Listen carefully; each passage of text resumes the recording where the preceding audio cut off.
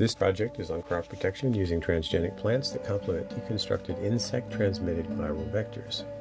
The goal of this work is to mitigate stress response in crops for the purpose of yielding food during unfavorable environmental conditions.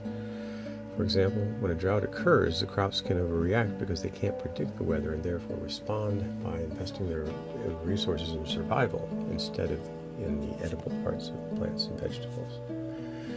Uh, as a result, the yields would be lower than if there was actually a controlled response. This overreaction then can be mitigated so that the plants will continue to invest the energy and resources into the fruits and vegetables. This will be accomplished using begomaviruses, whiteflies, and tomato plants to model this concept of helping crops to survive and bear uh, fruits and vegetables during environmental stress. This is our proof of concept. The first step is to uh, generate transgenic plants by taking the coat protein from the virus and then moving that coat protein into a plant and making a transgenic plant, therefore, that is expressing the virus coat protein.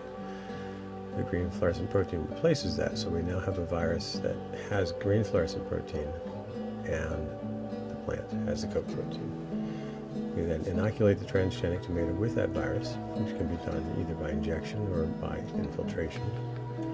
And under these circumstances, now the the uh, co-protein will allow the, the, that to amplify.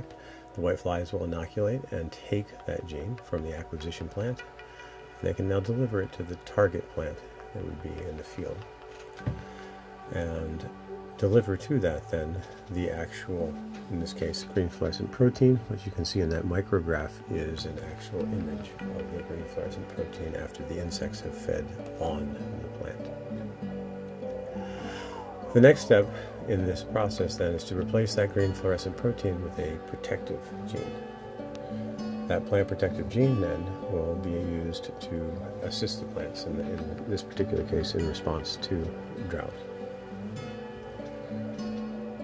So at this point, the protective gene then can be delivered to the field under conditions that would be appropriate based on weather predictions to prevent an overreaction and therefore improve the productivity of fruits.